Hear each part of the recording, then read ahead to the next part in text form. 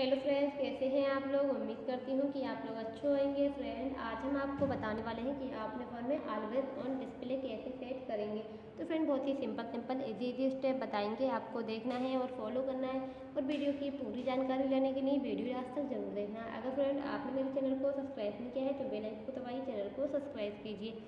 यहाँ फ्रेंड, आपको ऑप्शन देखने को मिलेगा फ़ोन में सेटिंग सेटिंग को ओपन कर लेना। ओपन करने के बाद में बहुत सारे ऑप्शन ओपन होंगे। आपको यहाँ पर ऑप्शन देखने को मिलेगा always on display always on display इस लॉक स्क्रीन पे आपको क्लिक कर लेना है।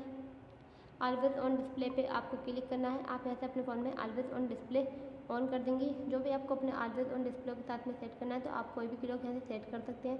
जो भी आपको करना है तो आप अपने फ़ोन का जब भी लॉक खोलेंगे तो आपके सामने इस तरीके से अंडरफेस बन के आएगा। तो आप इस पर क्लिक करके अप्लाई कर देंगे। तो फ्रेंड इस तरीके से आप अपने फ़ोन में अलविद ऑन डिस्प्ले सेट करेंगे। आई होप अगर आपको मेरी वीडियो अच्छी लगी होगा इस वीडियो को शेयर करें लाइक करें। चैनल पर नए हो तो चैनल को सब्सक्राइब करें। मिलती है अगली नेक्स्ट वीडियो में। जब तक के लिए बाबा एंड टेक केयर